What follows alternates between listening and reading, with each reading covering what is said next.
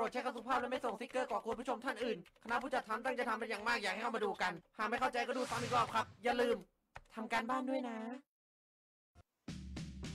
สวัสดีค่ะเด็กๆอ่ามากันหรือยังเอ่ยนะคะ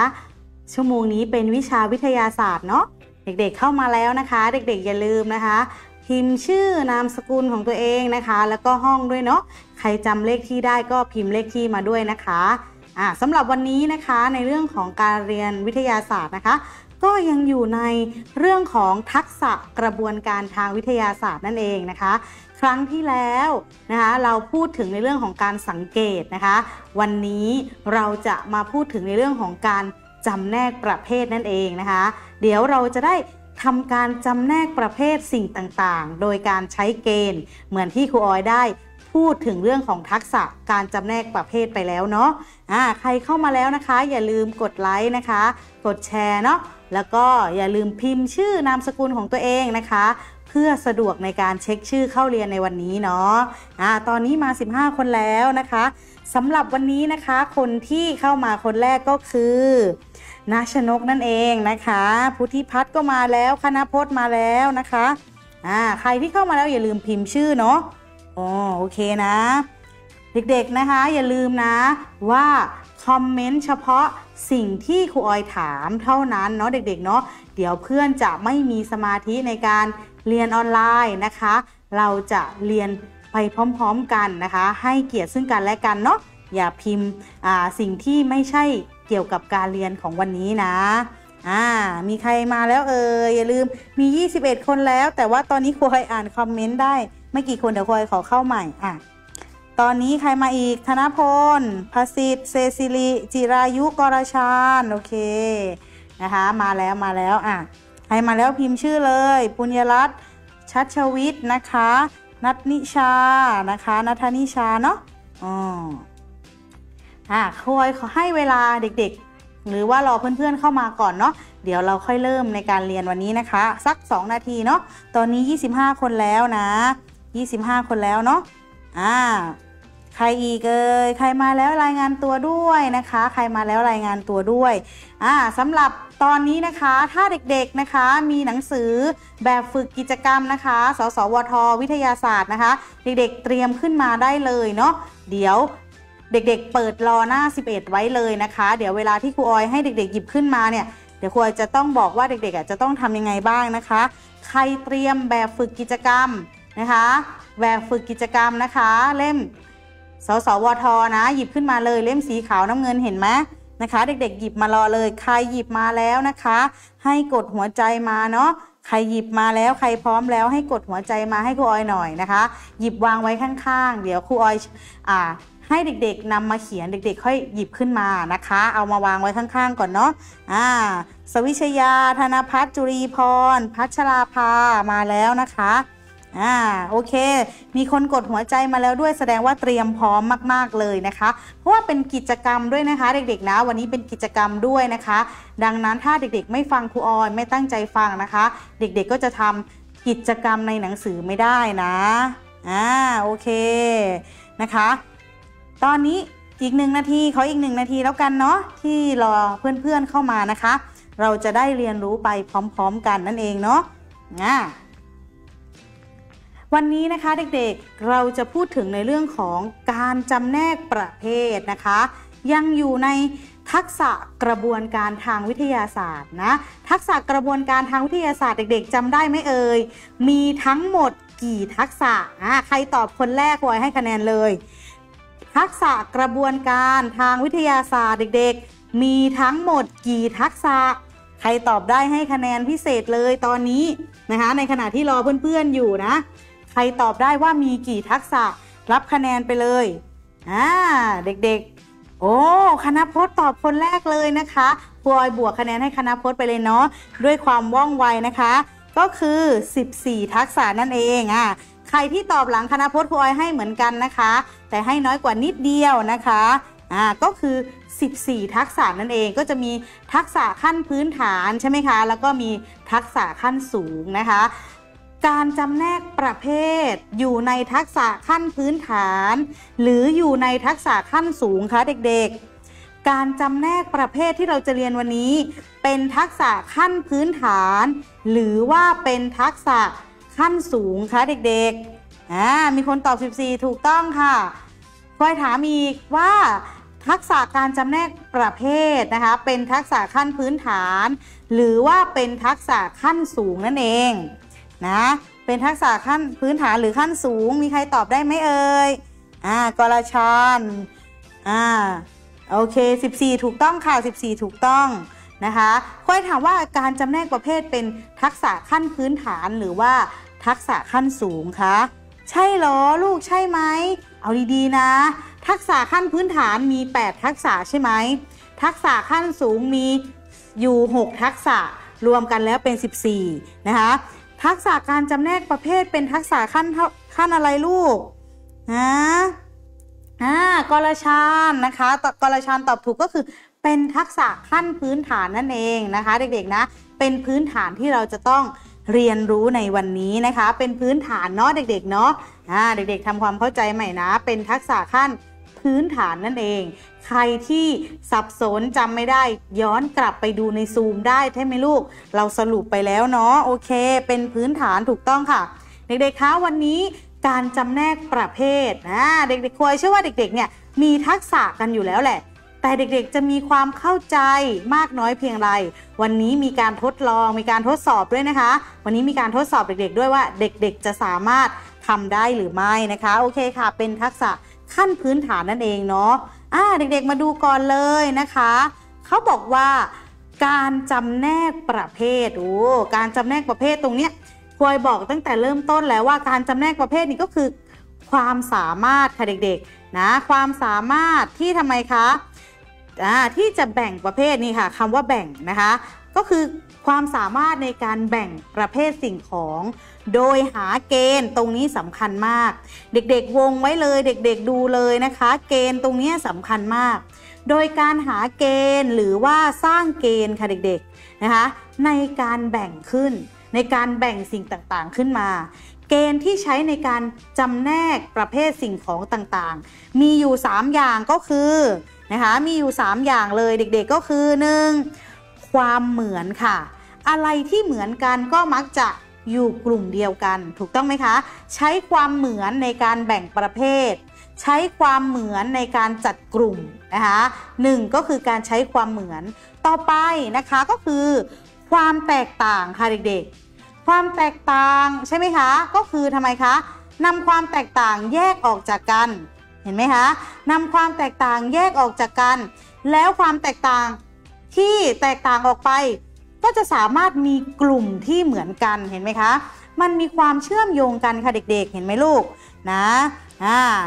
ส่วนสุดท้ายก็คือมีความสัมพันธ์ร่วมกัน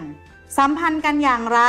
อาจจะไม่ใช่ชนิดเดียวกัน แต่มีความสัมพันธ์กัน อยู่ในหมวดของกลุ่มเดียวกัน ใช่ไหมคะอย่างเช่นอ่า ข้าว ข้าวก็ไม่ได้มีข้าวแค่อย่างเดียว ถูกต้องไหมลูกก็จะมีข้าวเหนียว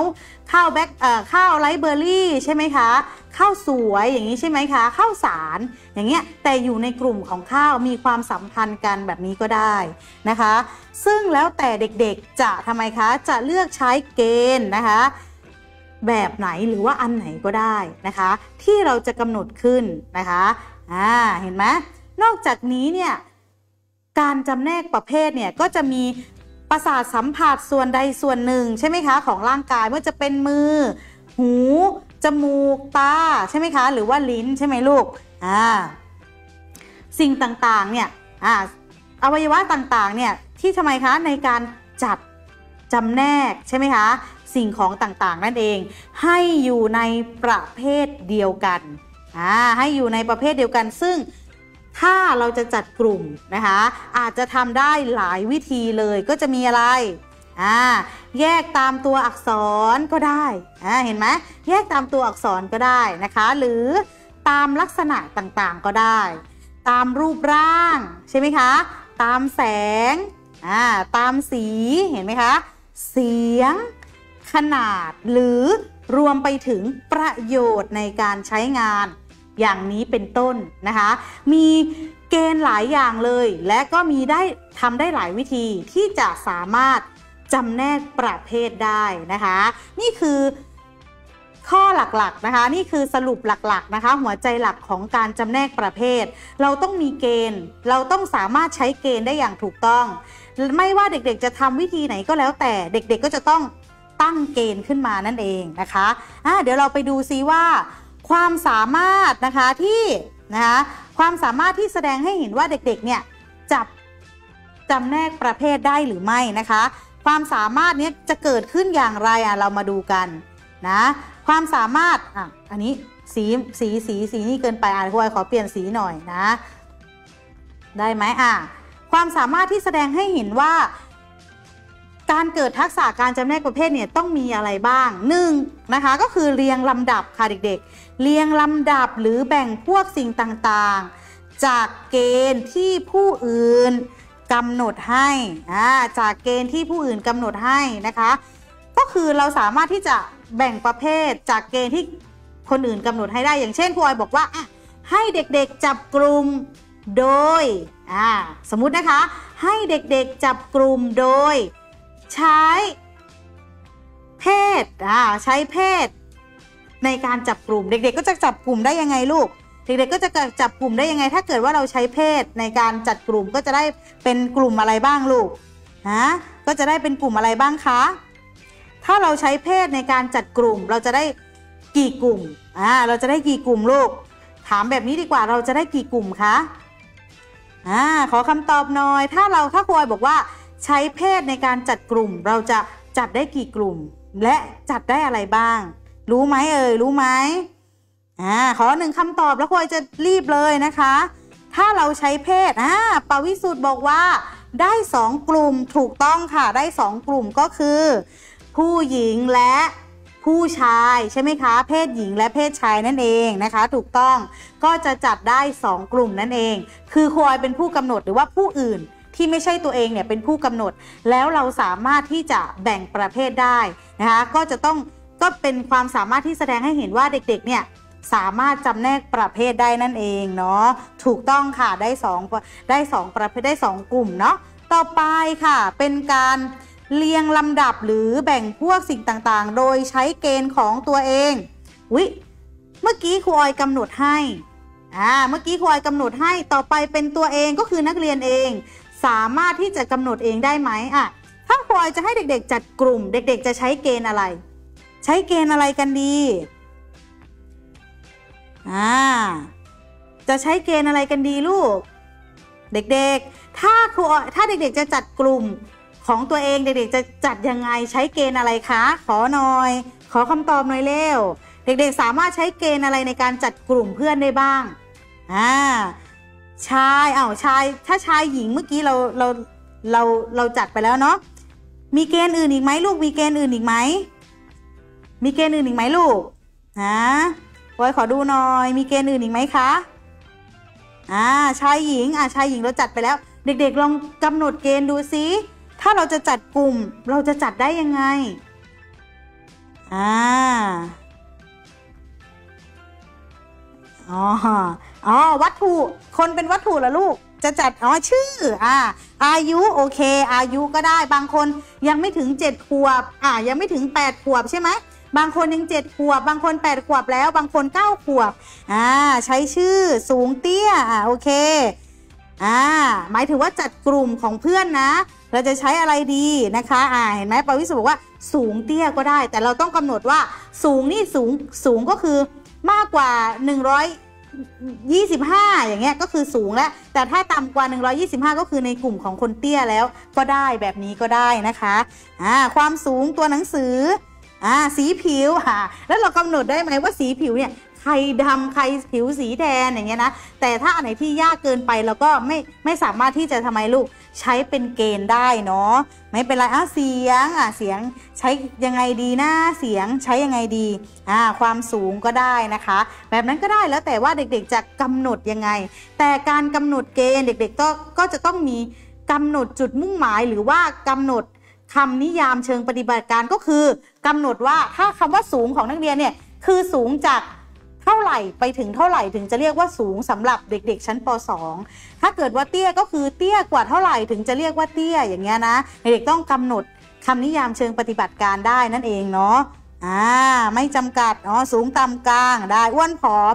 โอเคได้ อ้วนก็คือก็ต้องกำหนดว่าใครน้ำหนักเท่านี้ก็แปลว่าอ้วนก็ไปอยู่กลุ่มคนอ้วน ถ้าน้ำหนักน้อยกว่านี้ก็ไปอยู่กลุ่มที่คนผอมก็ได้นะคะ แล้วแต่ว่าเด็กๆจะกำหนดขึ้นมาอย่างไรนั่นเองอ่าต่อไปนะคะ บอกเกณฑ์นะคะเด็กๆ บอกเกณฑ์ที่ผู้อื่นใช้เรียงลำดับ หรือแบ่งพวกได้อ่าบอกเกณฑ์ที่ผู้อื่นก็คือหมายถึงว่าเขาจัดกลุ่มมาให้แล้ว แต่เราสามารถบอกได้ว่า สิ่งนั้นที่เขาจัดมาเนี่ยอยู่ในเกณฑ์อะไรนั่นเองนะคะ เดี๋ยวเราลองกันเลยอ่าผมยาวผมสั้นได้นะคะอ่าต่อไปเด็กๆมาดูอันแรกเมื่อกี้ที่เราพูดถึง เรียงลำดับนะคะ หรือแบ่งพวกจากสิ่งต่างๆ โดยเกณฑ์ที่ผู้อื่นกำหนดอ่าทีนี้เด็กๆ เตรียมคำตอบให้ดีเด็ก ๆ ดูรูปภาพนะคะ ดูรูปภาพที่ครูออยกำหนดให้อ่าดูนะ มีอะไรบ้าง โดยครูออยจะกำหนดเกณฑ์ให้เด็กๆ นะคะนะคะอะ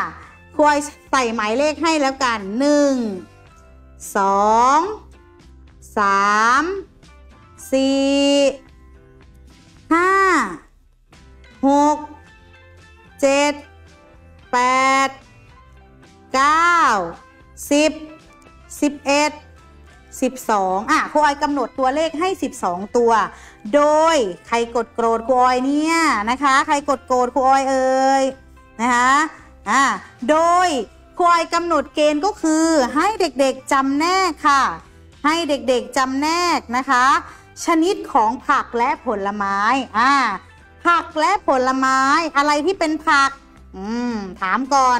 เลขอะไรที่เป็นผักบ้าง เลขอะไรที่เป็นผลไม้บ้างนะคะ เด็กๆลอง เด็กๆลองพิมพ์ตัวเลขก็ได้นะคะ หรือถ้าใครพิมพ์ชื่อได้ก็พิมพ์มา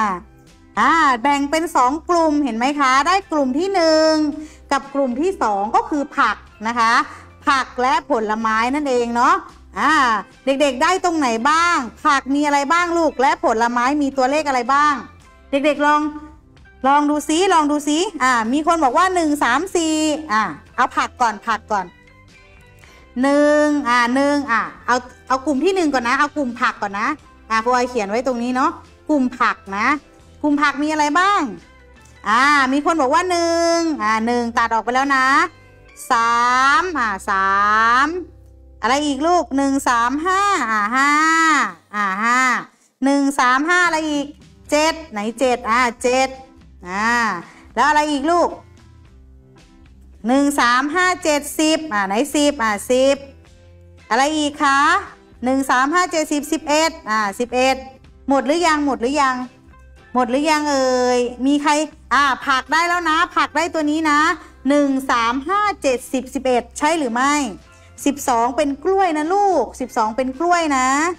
อ่า ผลไม้ก็จะมีอะไรลูก อ่า ผลไม้เปลี่ยนสีก่อน ผลไม้ก็จะมีสองอ่า ผลไม้ตรงนี้นะสองอะไรอีกสี่อ่าสองสี่อะไรอีกคะหกอ่าหก สองสี่หกอะไรลูก มีสิบหกด้วยเหรอคะ มีสิบหกด้วยเหรอ อ่าสองสี่หกอะไรอีกคะแปดสองสี่หกแปดเก้าใช่ไหมคะ แล้วก็สิบสองนั่นเอง อ่า ใครได้คำตอบเหมือนครูอ้อยนะคะ ผักนะคะ ได้หนึ่งสามห้าเจ็ดสิบสิบเอ็ดผลไม้นะคะ ผลไม้ได้สองสี่หกแปดเก้าและ 12 นั่นเอง โอ้เก่งมากเลยนะคะอ่า9 12 อะโอเค จิรายุถูกต้องนะคะ2 4 6 8 9 12 อะปานิสลาถูกต้องลูก โอเคนัชนกพิมพ์ที่คำพร คณพจน์ โอเคค่ะ ไม่จำเป็นต้องเรียงตัวเลขนะคะ เด็กๆเห็นตัวเห็นเลขไหนก่อนที่เป็นผักหรือผลไม้สามารถเขียนได้เลยนะคะ อันนี้แสดงว่าเด็กๆเนี่ยสามารถที่จะแบ่งเกณฑ์นะคะ ตามที่ครูออยกำหนดอ่าก็คือกำหนดเกณฑ์ครูออยเป็นคนกำหนดเกณฑ์เด็ก ๆ เป็นคนทำไมคะ เรียงลำดับหรือว่าแบ่งนั่นเอง หรือว่าจำแนกนั่นเองเด็ก ๆ แสดงว่าเด็กๆมีทักษะขั้นที่หนึ่งแล้วเห็นไหมนะคะว่าเด็กๆสามารถที่จะทำตามที่ครูออยกำหนดเกณฑ์ไว้ได้นะคะ นี่คือทักษะขั้นที่หนึ่งนั่นเอง ไม่ใช่ทักษะขั้นที่หนึ่งก็คืออการแสดงออกว่าเป็นคนที่สามารถที่จะทำไมได้ จำแนกประเภทได้นั่นเองเนาะโอเคอะต่อไปในรูปแบบที่ 2เขาบอกว่า เรียงลำดับหรือแบ่งพวกโดยใช้เกณฑ์ของตัวเอง เด็กๆมาตั้งเกณฑ์ดูสิสิ่งที่เด็กๆเห็นนะคะอ่าเอาเกณฑ์แรกก่อนอ่าเอาเกณฑ์แรกก่อนนะ ที่เด็กๆเห็นเนี่ยเด็ก ๆว่า สิ่งของเหล่านี้อยู่ในเกณฑ์อะไรดี นี่นะ เกณฑ์แรกเลย สิ่งของเหล่านี้อยู่ในเกณฑ์ของอะไรดีลูก เป็นอะไรดีเนี่ย สิ่งของเหล่านี้เนี่ยค่ะเด็กๆ ที่ครูออยให้เด็กๆ ดูอันแรกเนี่ยเป็นเกณฑ์อะไรดี น้ำหนักเหรอใช่เหรอลูกดูดีๆ นะ ดูดีๆนะ ไม่ต้องไปยุ่งกับอันอื่นเลยนะคะ เอาเอาเอาอันแรกก่อน เด็กๆคิดว่าในรูปนี้เราควรจะแบ่งเกณฑ์เป็นอะไรใช้คือเกณฑ์ของอะไรดีอ่าโอเคปาวิสุทธ์บอกว่า เครื่องใช้ภายในบ้านแต่อย่างอื่นก็อยู่ในบ้านได้นี่ลูกใช่ไหม อ่าที่คำพรใกล้ถูกแล้วลูกอ่าเขาเรียกว่าอะไรลูกตรงนี้เขาเรียกว่าอะไรคะ เครื่องอะไร เครื่องอะไรลูกอ่าเครื่องใช้ไฟฟ้านั่นเองถูกต้องค่ะ เครื่องอ่าใช้ไฟฟ้านั่นเองนะคะ เครื่องใช้ไฟฟ้านั่นเองเนาะอ่าโอเคนะคะอะแล้วกลุ่มที่สองล่ะ เอากลุ่มที่สองล่ะเด็กๆ กลุ่มที่สอง เด็กๆคิดว่าจะใช้เกณฑ์อะไรดี กลุ่มที่สองเป็นเกณฑ์อะไรดีลูกอ่านนี้กลุ่มที่หนึ่งเครื่องใช้ไฟฟ้าถูกต้อง กลุ่มที่สองอย่ากดโกรธให้เพื่อนนะคะ เพื่อนตอบถูกหรือผิดเด็ก ๆ ไม่มีสิทธิ์กดโกรธให้เพื่อนนะลูกนะอ่าอันที่สองคือโอ้โหกรชานมาคนแรกเลย เครื่องครัวใช่หรือไม่เครื่องครัว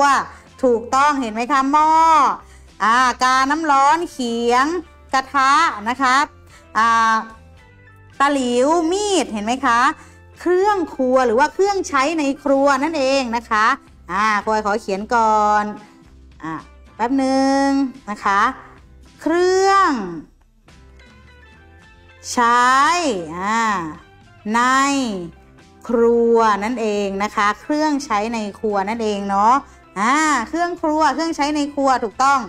และสุดท้ายล่ะเด็กๆ สุดท้ายล่ะสุดท้ายตรงนี้ล่ะเป็นอะไร นะคะสุดท้ายตรงนี้เป็นอะไรลูก ตรงนี้เป็นเกณฑ์อะไรดีนะตรงนี้เป็นเกณฑ์อะไรดีคะอ่ามีคนตอบถูกแล้วเนี่ยมีคนตอบถูกแล้วนะคะ อันสุดท้ายก็คือ อันสุดท้ายก็คืออะไรลูก อันสุดท้ายคืออะไรอ่าโอ้ยมีคนตอบเก่งมากเลยนะคะ อันสุดท้ายก็คือ เครื่องเขียนนั่นเองนะคะ เครื่องเขียนนั่นเองเนาะ เครื่องเขียนเห็นไหมคะโอ้โหเด็กๆสามารถที่จะนะคะใช้เกณฑ์ของตัวเองได้นะคะลำดับเกณฑ์ของตัวเองได้เมื่อเห็นใครกดโกรธเพื่อนละลูกนะเพื่อนตอบถูกแล้วนะคะ อย่ากดโกรธเพื่อนนะ หรือว่าเด็กๆกดผิดนะคะอ่าเครื่องเขียนถูกต้องค่ะเครื่องเขียนเนาะถ้าใครพิมพ์ไม่ได้นะคะ เด็กๆ รบกวนผู้ปกครองได้เนาะข้างๆนะคะ ถูกต้องแล้วค่ะเครื่องเขียนนั่นเอง นะชนก สุภโชคอ่าคณพจน์ปณิสลา แต้ว นะอ่าโกนพัฒโอเค มีแต่คนตอบเครื่องเขียนถูกต้อง เห็นไหมคะว่าถ้าเด็กๆมองเนี่ย เด็กๆ ถ้าเด็กๆสังเกต เด็ก ๆ ก็จะรู้ได้เลย เห็นไหมว่าสิ่งของที่คอยแยกประเภทมาให้เนี่ย อยู่ในเกณฑ์อะไรใช่ไหมคะ นี่ก็เป็นอีกทักษะหนึ่งที่เด็กๆ เนี่ย บ่งบอกว่าเด็กๆ มีการจำแนกประเภทได้นะคะ มีทักษะการจำแนกประเภทได้เนาะอ่าทีนี้ อีกอย่างหนึ่งนะคะเป็นการบอกเกณฑ์อ่าเป็นการบอกเกณฑ์ให้ผู้อื่น ใช้เรียงลำดับหรือแบ่งพวกได้ ทีนี้เรามาดู ตรงนี้คอยให้เป็นเลขหนึ่งอ่าเป็นเลขสองเป็นเลขสามคืออะไรตรงเนี้ยมีทั้งเกณฑ์มาให้ มีทั้งสิ่งที่อยู่ในเกณฑ์ต่างๆมาให้ แล้วสิ่งไหนอยู่คู่กันมีทั้งเกณฑ์และมี มีทั้งพวกอยู่ในนั้น อ่า อันนี้ให้เป็น A อันนี้ให้เป็น B อันนี้ให้เป็น C เด็กๆลองดูซิ อันแรก อันข้อหนึ่งคือสัตว์ปีกนะ ข้อหนึ่งคอยให้มาคือสัตว์ปีกนะคะ สัตว์ปีก ข้อ2ควยให้มาคือสัตว์เลี้ยงลูกด้วยนมนะคะ ข้อ3ควยให้มาคือสัตว์เลื้อยคลานนะคะ ส่วน A A ควยให้มาก็คือ อ่า A ควยให้มาก็คือ ช้าง สุนัข วัว หมู หมี อ่า B หวยให้มาก็คืองูตะภาพจระเข้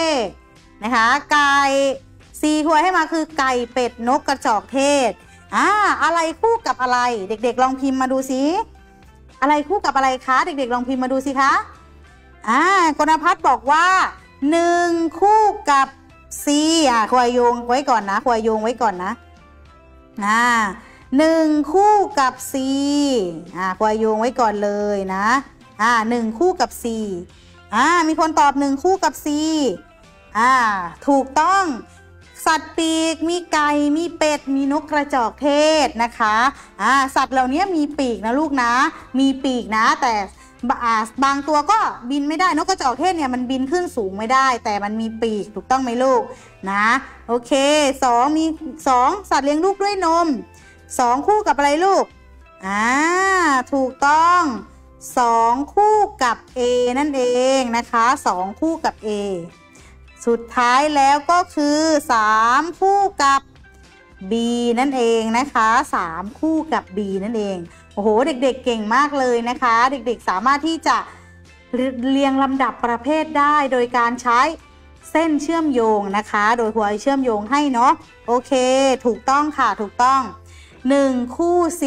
2 คู่ A 3 คู่ B นั่นเองนะคะ สัตว์ปีกก็คือไก่เป็ดนกกระจอกเทศ สัตว์เลี้ยงลูกด้วยนมก็คือ สุนัขวัวหมูหมีช้างนะคะ สัตว์เลื้อยคลานก็คือ เต่างูตะภาพจระเข้นะคะ จัดอยู่ในประเภทที่เรากำหนดเกณฑ์ขึ้นนั่นเองนะคะ เด็กๆสามารถที่จะ บอกได้นี่แสดงว่าเด็กๆเก่งมากเลยนะคะอ่าไปต่อไปต่อนะคะอ่าสรุปแล้วเด็กๆ หยิบหนังสือแบบฝึกกิจกรรมเราขึ้นมาเลยนะคะ เล่มสีขาวน้ำเงินเห็นไหมคะ แบบฝึกเห็นไหมลูกหยิบขึ้นมาเลยนะคะ ทีนี้เปิดหน้า 11 ค่ะ เปิดหน้า 11 ค่ะ เด็ก ๆ เปิดหน้า 11 นะ ของเราเปิดหน้า 11 นะลูกนะอ่า คอยอยากรู้จังเลย ใครกดโกรธเป็นอะไรลูก ถ้ามีอะไรสงสัยเด็กๆถามในแชทได้เลยนะคะ เด็กๆไม่ต้องไปกดโกรธให้เพื่อนนะลูกนะ เด็กๆไม่ต้องมากดโกรธในนี้เนาะโอเคไหมอ่าเพราะอะไรเพราะว่าพลอยก็จะรู้สึกว่าอุ๊ยเด็กๆ เป็นอะไรหรือเปล่าพลอยก็จะมีไม่มีกำลังใจถูกต้องไหมคะ เพื่อนก็จะสงสัยว่าเด็กๆ โกรธอะไร ใช่ไหมลูกอ่าเด็กๆก็ทำไมคะ กดหัวใจดีกว่านะคะอ่าทีนี้เด็กๆเปิดไปหน้า 11 เนาะ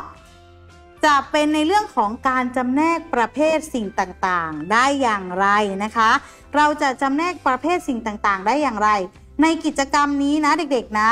ควรจะมีบัตรภาพมาให้เด็กๆดูนะคะ บัตรภาพต่างๆ 1 ชุด เดี๋ยวเราจะเลื่อนไปนะคะ เด็กๆ ใจเย็นนิดนึง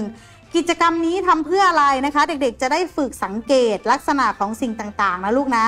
และกำหนดเกณฑ์ขึ้นมาเนี่ยเราจะมีการกำหนดเกณฑ์กันขึ้นมาด้วย เพื่อจำแนกสิ่งต่างๆ ออกเป็นกลุ่มๆนั่นเองเนาะอ่านะคะ ทีนี้ตรงนี้เด็กๆไม่ต้องไปสนใจนะ เทปใสอะไรเนี่ย เพราะว่าอันนี้เป็นอุปกรณ์ที่เราเรียนในห้องเรียนเนาะแต่ทีนี้เราเรียนออนไลน์เนาะเราก็ทำไมคะเด็กๆอ่าเราก็จะทำไมลูก เราก็ไม่ได้ใช้นะคะทีนี้ อ่าทีนี้มีบัตรภาพ เด็กๆเห็นไหมว่าในช่องหน้าที่ 11 นะ จะเป็นช่องแบบนี้นะลูกอ่าเด็กๆดู จะเป็นช่องแบบนี้เห็นไหมเขาบอกว่าเด็กให้เด็ก ๆ เติมลักษณะที่สังเกตได้ในช่องว่างเห็นไหมลูกนะคะโดยครูออยเนี่ยจะนำบัตรภาพต่างๆ ก็คือตรงนี้ให้เด็กๆดูนะคะอ่ามีอะไรกันบ้างเด็กๆดูนะ อันดับแรกมีหัวผักกาดขาวค่ะ เด็กๆเขียนลงไปในช่องนั้นเลย หัวผักกาดขาวนะค่ะแต่ถ้าใครไม่ทันไม่เป็นไรนะคะ เขียนไม่ทันไม่เป็นไร เด็กๆ ตรงเนี้ยเด็ก ๆ แคปหน้าจอได้เลยนะคะ เด็กๆ แคปหน้าจอได้เลย เดี๋ยวคอยจะให้คุณครูนะคะที่ดูแลเพจเนาะลงบัตรภาพต่างๆ ไว้ให้เนาะเนี่ยก็คือมี 2 หน้านี้นะคะ ที่เด็กๆ จะต้องใช้ในการตอบคำถามลงไปเนาะโอเคไหมอ่ามีผักมีหัวผักกาดขาว มีแตงโมนะคะ มีดอกกระลำหรือว่ากระกระลำดอกนั่นเองนะคะ แล้วก็มีมังคุดนะคะ มีสาลี่ด้วยเห็นไหมแล้วก็มีกระท้อนนะคะ มีแอปเปิ้ลเห็นไหมลูก มีส้มนะคะ มีกล้วยเนาะ แล้วก็มีมะละกอนะคะอ่าบัตรภาพมีภาพของหัวผักกาดขาวอะคอยถามหน่อยหัวผักกาดขาวเด็กๆ สังเกตว่าหัวผักกาดขาวเป็นยังไงลูก อ่ามีอะไรที่เราสังเกตเห็นได้บ้าง มีอะไรที่เราสังเกตเห็นได้บ้างลูก หัวประกาศขาวมีอะไรที่เราสังเกตเห็นได้บ้างอ่าเห็นอะไรลูก เป็นสีอะไรหัวผักกาดขาวเนี่ยเป็นสีอะไร เป็นสีอะไรคะหัวผักกาดขาวที่เราเห็นเป็นสีอะไรลูกอ่าขอคำตอบหน่อย หัวผักกาดขาวที่เราเห็นเนี่ยเป็นสีอะไรคะ อ่าถูกต้องค่ะเตชีสสีขาว มีจำนวนเท่าไหร่ลูก สีขาวอะควายควายให้ตัวอย่างอะสีขาว มีจำนวนเท่าไหร่ลูก มีจำนวนกี่หัว มีจำนวนเท่าไหร่คะอ่าหัวผักกาดขาวนะอ่ายาวกลมอ่าโอเค ยาว กลมมีกี่อันลูกมีกี่อันอ่ากรชานบอกแล้วว่ามีสองหัวใช่ไหมคะ มีสองหัวมีจำนวนสองหัวนั่นเองเนาะมีจำนวนสองหัวนะคะโอเค สีขาวยาวกลมแล้วก็มีสองหัวนั่นเองอะมาดูแตงโมกันบ้าง แตงโมอะแตงโมมีทั้งหมดกี่ผล กี่อันกี่ลูก แตงโมมีกี่ลูก แตงโมค่ะแตงโมอะแตงโมสีอะไรก่อนก็ได้อะสีสีอะไรก่อน แตงโมสีอะไรลูกอืม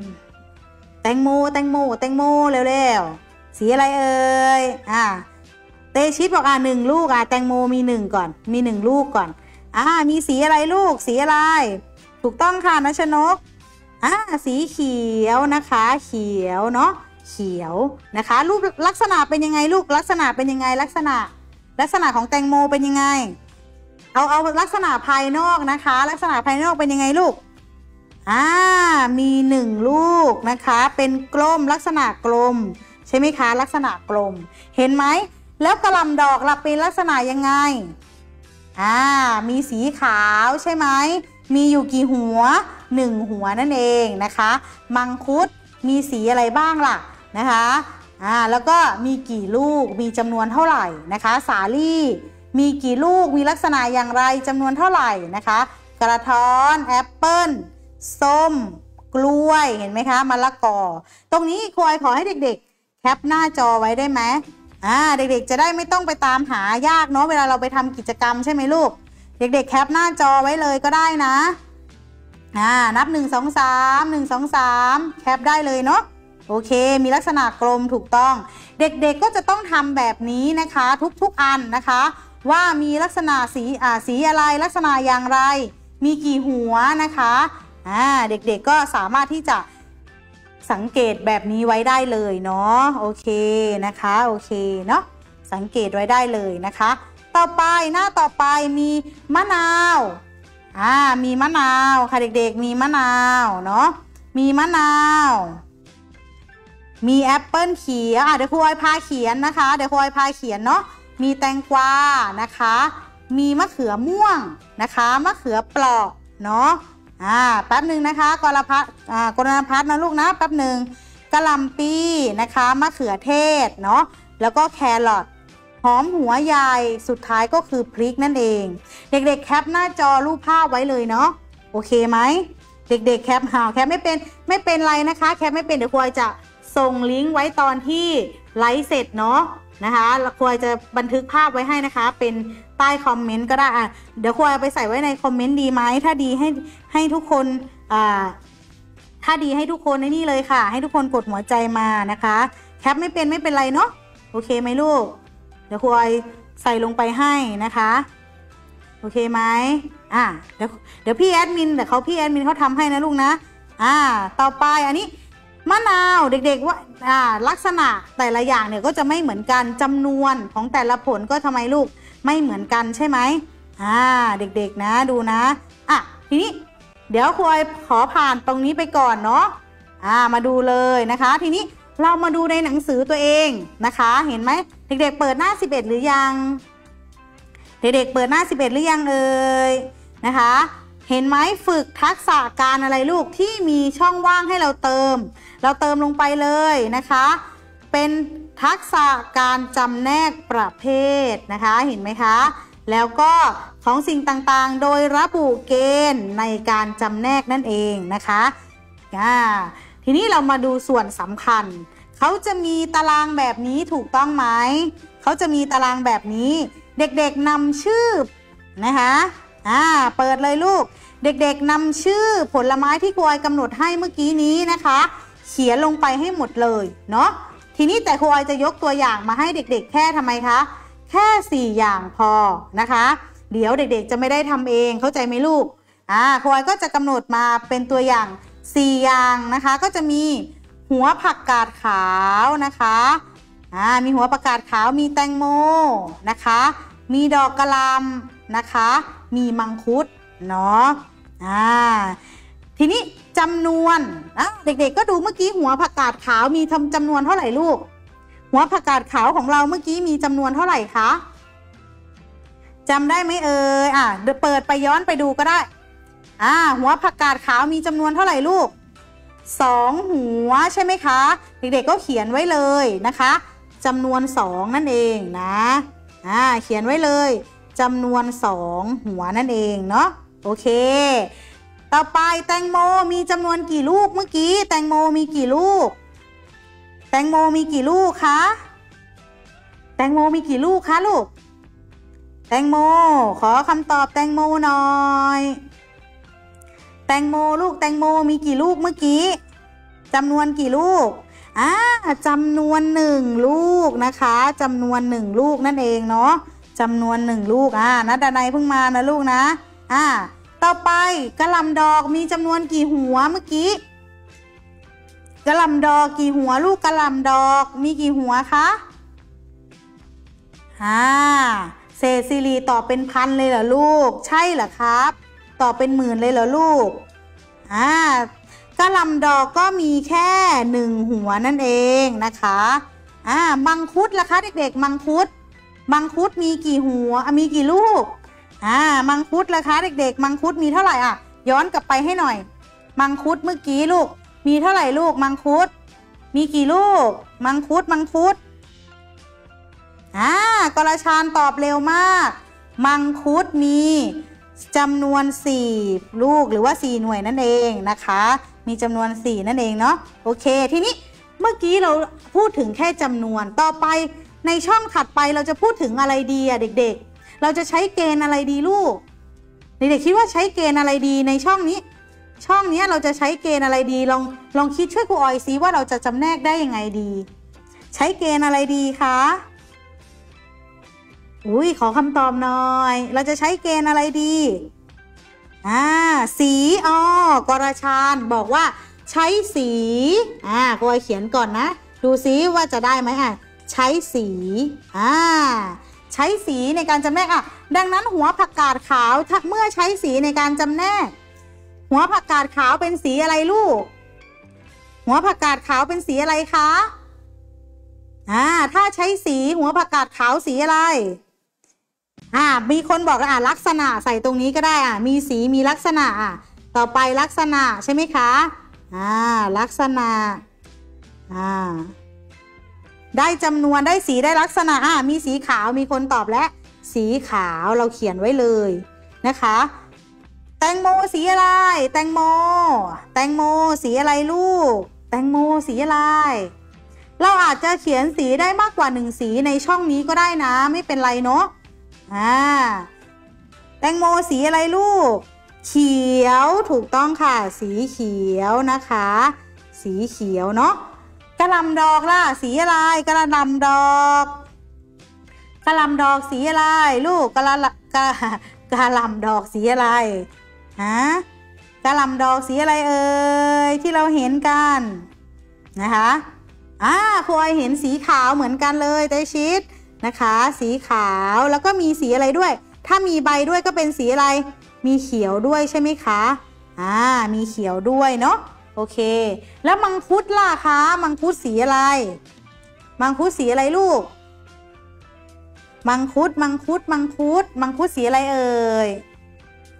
มังคุดที่เราเห็นสีอะไรลูก อ่า สีม่วง ชัชวิตเตอ่า โอเค สีม่วง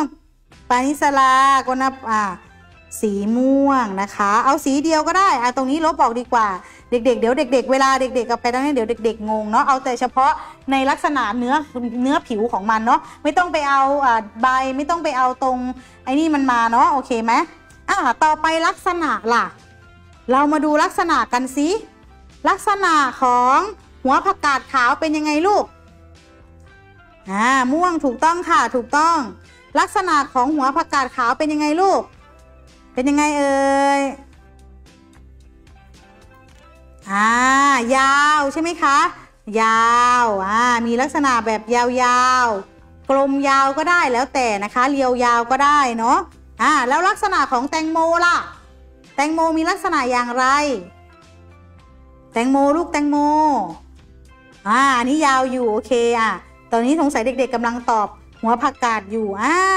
แตงโมก็จะมีลักษณะที่กลมโอเคนะคะ กลม อ่า มีลักษณะกลมกระลำดอกแล้วลูกกระลำดอกเป็นลักษณะยังไงคะ กระลำดอกมีลักษณะโอเค กลมถูกต้องค่ะ ปวิสุทธ์คณะพจน์กรพัฒน์อ่าศีลธรรม ปานิสลา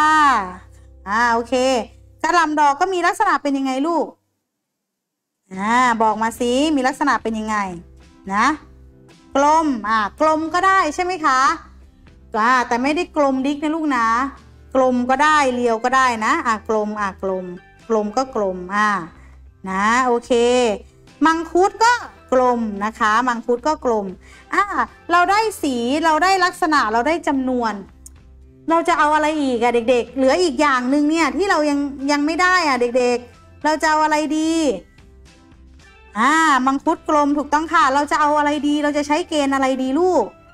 อีกอย่างหนึ่งอีกอย่างหนึ่งเราจะใช้เกณฑ์อะไรดีคะเอาอีกอย่างหนึ่งลูกจะเราจะใช้เกณฑ์อะไรดีลูก บอกหน่อย